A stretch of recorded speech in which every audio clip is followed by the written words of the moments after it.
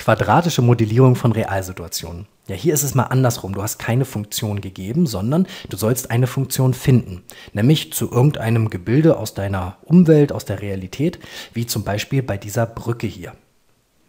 So, wir haben diese Brücke jetzt gegeben und das ist die höchste Eisenbahnbrücke Deutschlands mit einer maximalen Höhe von 100 Metern, also hier irgendwo in der Mitte sicherlich. Das ist ja hier symmetrisch, ne, parabelartig, nach unten geöffnet und es geht um diese von mir rot eingezeichnete Kante von dieser Traverse oder von dieser Aufhängung oder wie auch immer man das nennt. So, und in der maximalen Höhe sozusagen beträgt das hier 100 Meter und hat eine Breite bei den Verankerungen im Boden zwischen diesen Verankerungen hier irgendwo in diesem Wald von 220 Meter. Und unsere Aufgabe ist es jetzt, ein sinnvolles Koordinatensystem festzulegen und diesen Graphen, der hier entsteht, da irgendwie reinzupacken und daraus wiederum eine Funktionsgleichung abzuleiten.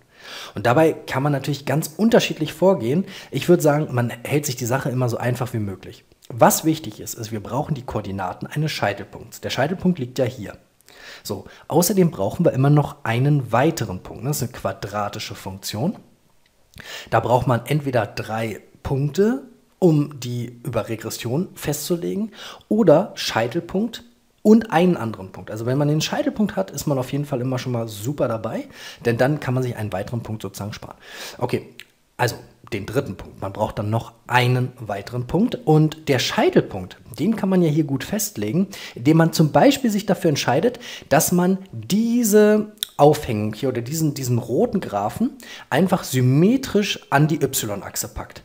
Also, dass der Scheitelpunkt auf der y-Achse liegt. Das heißt, der würde ja dann in 100 Meter Höhe liegen und auf x-Wert 0. Das heißt, bei 0 und 100 würde der Scheitelpunkt liegen. Und ein weiterer Punkt, ja, den müsste man sich jetzt überlegen. Also, wenn hier so die y-Achse durchläuft und wir haben hier eine Breite von 220 Metern, dann ist ja sozusagen die Nullstelle, also der Punkt, an dem dieser rote Graph die x-Achse schneidet, wäre quasi bei der Hälfte von dieser Breite, nämlich bei 110 zum Beispiel. Somit hätten wir einen weiteren Punkt bei 110 und 0 oder bei minus 110 und 0. Das könnte man dann entscheiden. Ich nehme jetzt einfach mal 110 und 0 als weiteren Punkt an. So, jetzt hat man diese, diese beiden Punkte und wenn man den Scheitelpunkt hat, super, dann kann man einfach die Scheitelpunktform nehmen. Allgemein heißt die Scheitelpunktform a mal x minus xs oder man sagt auch u plus, also hoch 2 plus v oder ys. xs ist die x-Koordinate des Scheitelpunkts, ys ist die y-Koordinate des Scheitelpunkts. Hier also xs ist 0, ys ist 100. Das könnte man jetzt hier schon einsetzen. Und dann fehlt aber immer noch das A. Okay, ich mache es trotzdem mal, ich setze das mal ein und sehe, okay, mir fehlt noch hier das A. Nach dem A kann ich aber nur freistellen, wenn ich auch noch was für X und Y einsetze. Und dafür habe ich quasi diesen zweiten Punkt. Dieser zweite Punkt setzt sich ja zusammen aus einer X- und Y-Koordinate. Dieser Punkt liegt auch auf dem Graphen. Und deswegen kann ich jetzt dieses X hier, die 110, für X einsetzen und die 0 für y einsetzen. y ist dasselbe wie f von x. So, da siehst du das die 0 und da die 110. Hier siehst du die x-Koordinate des Scheitelpunkts und hier die y-Koordinate des Scheitelpunkts. Und jetzt ist alles in dieser Gleichung ausgefüllt, bis auf das a. Und man kann jetzt nach diesem Parameter, nach diesem Faktor freistellen.